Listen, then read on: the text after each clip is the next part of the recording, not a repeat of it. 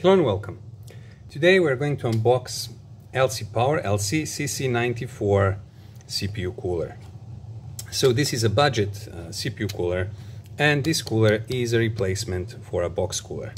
Uh, it's really inexpensive so the price in Europe I think in retail shops would be somewhere around 8 euros maximum 9 or for example in US would be probably around 10 or even less than 10 dollars so this is a budget-friendly cooler and uh, it's not intended for overclocking or using, I don't know, i9 Intel CPU with it, but 80 watts TDP, it can cover most of the Intel i5s or uh, AMD Ryzen 5s or even Intel uh, i7 CPUs uh, if you use it only as an office computer.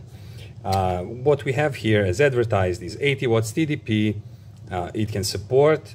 Uh, that's something that I've seen through use. Uh, multi-compatible, that's true as it supports all of the Intel sockets except the 1700 LGA and it supports all the current and existing AMD sockets.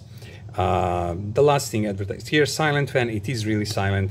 I've installed a dozen of these and they are silent, you don't hear them usually. And that's why they are very good replacement for box coolers, which usually aren't that silent or if your box cooler stops malfunctioning this is a, a inexpensive replacement for it. Or if you're building an office uh, desktop PC and you don't need any expensive cooler uh, but you buy for example CPU which is a tray version it's not boxed you need a box cooler this is again an excellent solution. Okay so let's see what's in the box.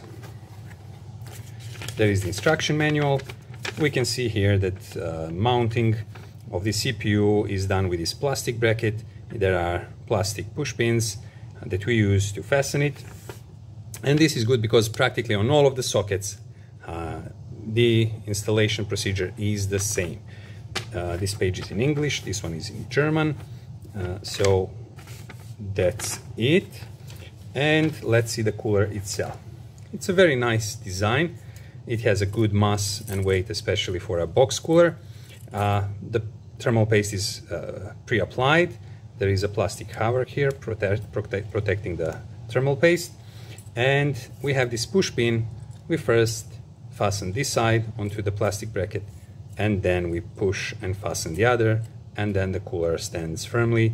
Uh, there is a four pin so uh, the main board can regulate the how fast the fan spins and uh, by this design also uh, LC managed to increase uh, the useful surface of this aluminum uh, cooling body and then that heat dissipates better if it had like boxed traditional design.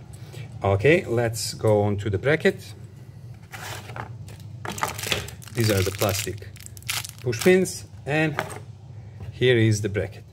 So if we look carefully here, this is not uh, a correct circle. This is more like ellipsoid. ellipsoid. So by this shape, there is a little space to wiggle, and this is how uh, practically this bracket fits on all of the sockets. Yeah, so a couple of millimeters of moving this makes it makes it fit on all the CPU sockets except the 1700.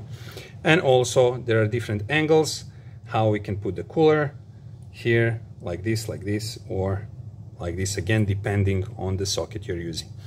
So anyway, uh, I will also show you uh, practical how to install it on a mainboard, on a CPU, and stay tuned for that part. Okay, thank you, and let's continue.